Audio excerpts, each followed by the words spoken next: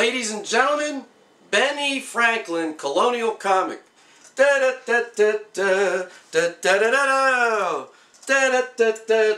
Hey folks, great to be back in my green country town. I'll tell you, it's tough being a colonist. Took a horse and buggy here, it cost me 1776. I gave him 1812 and told him to keep the change. That's right, folks. Ran into George Washington yesterday complaining about his teeth. I felt so fortunate I want to knock wood, so I punched him in the mouth. Excuse me.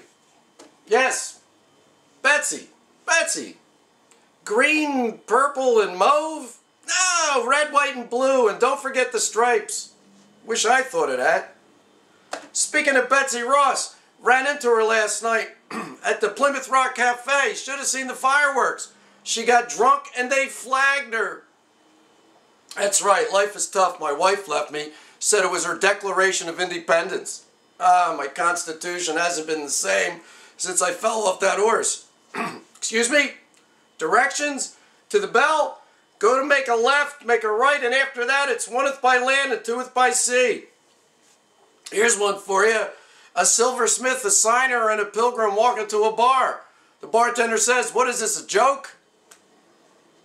Ran into Thomas Jefferson yesterday. Last time I saw him, he was knee-high to a nickel.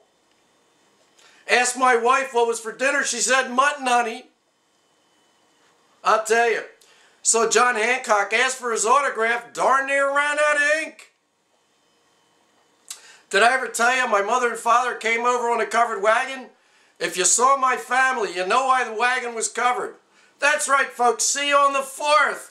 Da da da da da da da da da da da da da da da da da da da